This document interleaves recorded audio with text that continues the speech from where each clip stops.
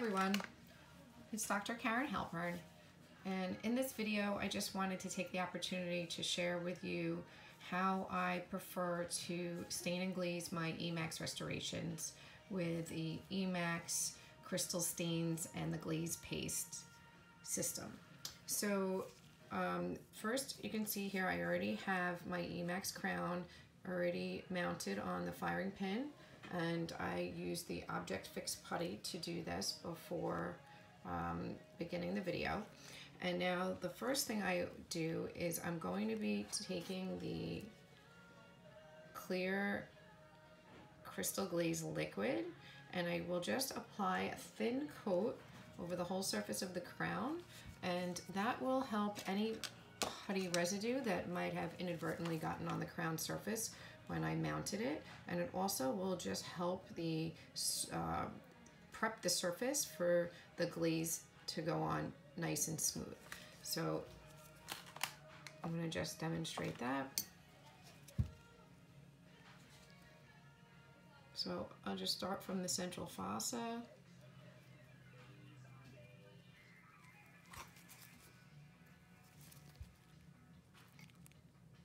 And just do a nice thin coat on the occlusal. Then hit the buccal.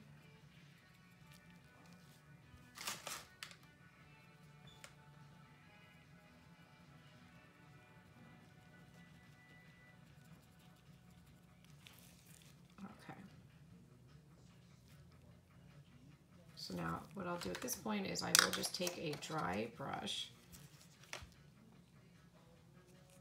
and I will just go ahead and wipe off any of the excess. I just want this to be a very thin application. I don't want any pooling. And it should just look like a thin, shiny coat.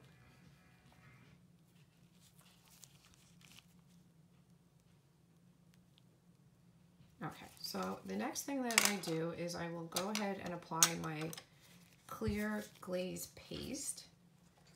So that is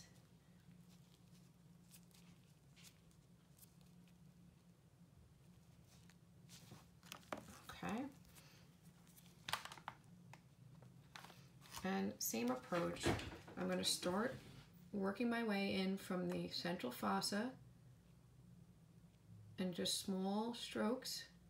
I'm just dragging it out and covering the whole occlusal surface.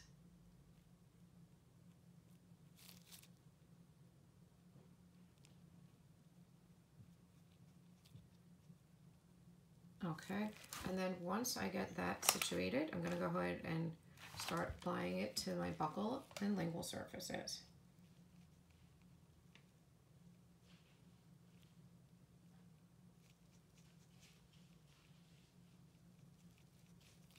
And I'll do the mesial.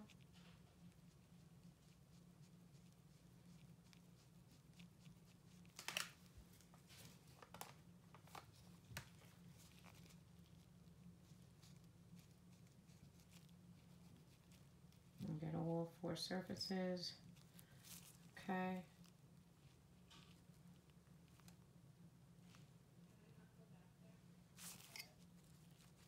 Now at this point, I will take my dry brush again and I will just go over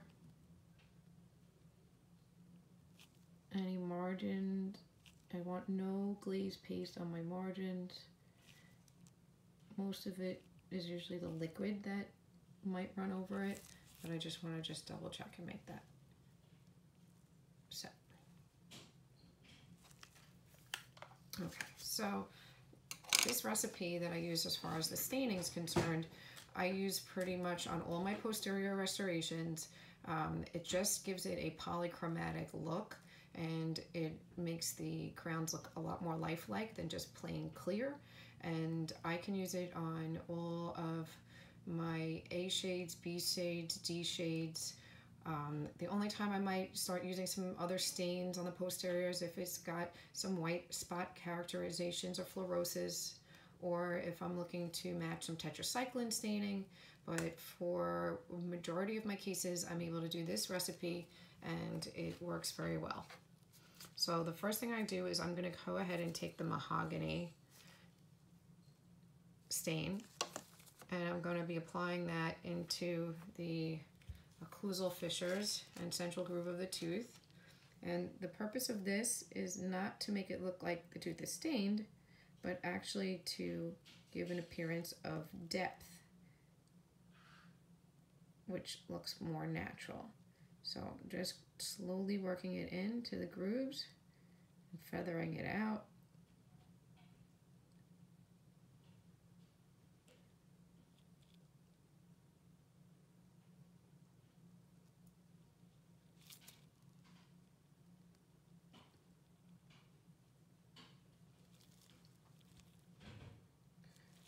You don't want it to look too heavy.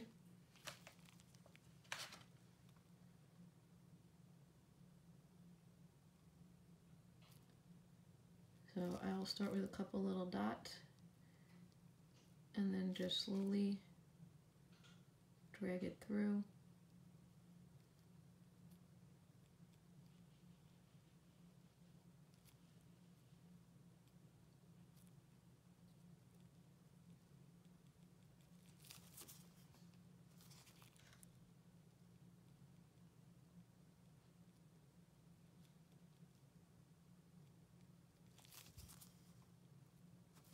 And this will not look very pronounced when it comes out of the furnace. It's really just going to add depth.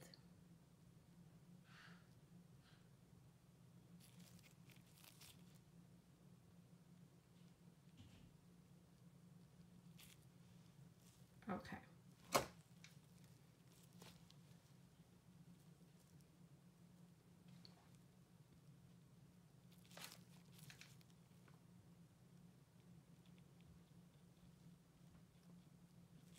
Okay, the next thing that I do is I'm going to go ahead and I'm going to clean my brush and I use a the Crystal Glaze liquid. That's what I use to clean my brushes in between changing the stains. So I'm just going to clean that off. And then the next one I'm going to go into is the blue. And I use the blue incisal on the cusps. And what that's going to do is just give an illusion of more of a translucency and again make the crown start to look like it's polychromatic. So take a little bit of the blue and with the blue you really want a very little bit. If you're doing this with loupes on you should be able to see the blue with your loupes Okay. But if you're not wearing um, loupes you should barely be able to see it with your naked eye. So very little bit. I might do a little more for the purpose of the video so you can actually see where I'm applying it.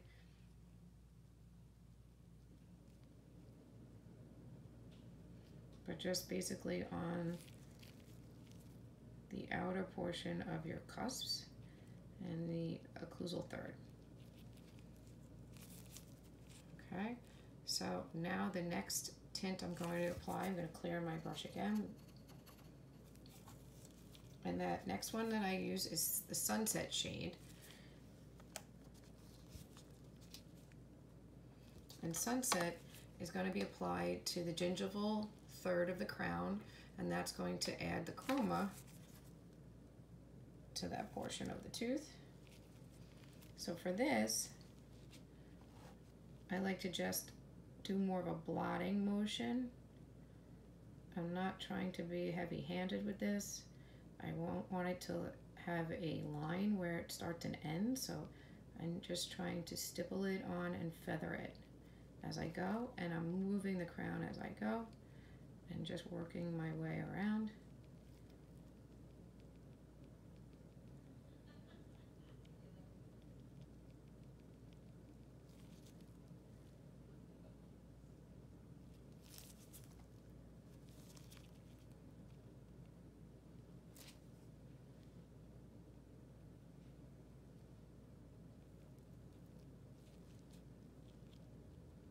Okay, And now once I've done that, I will go ahead and take my dry brush again. And I'm just going to just gently go around my margins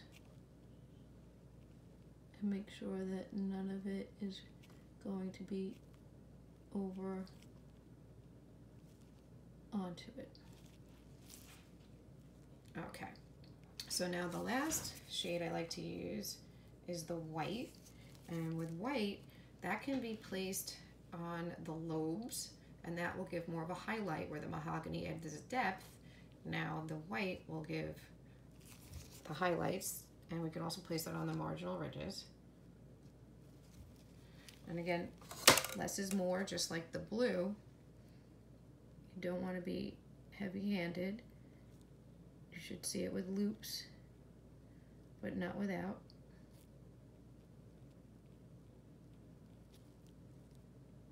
And then I like to take a very little bit and I will just put it on the tips of the cusps.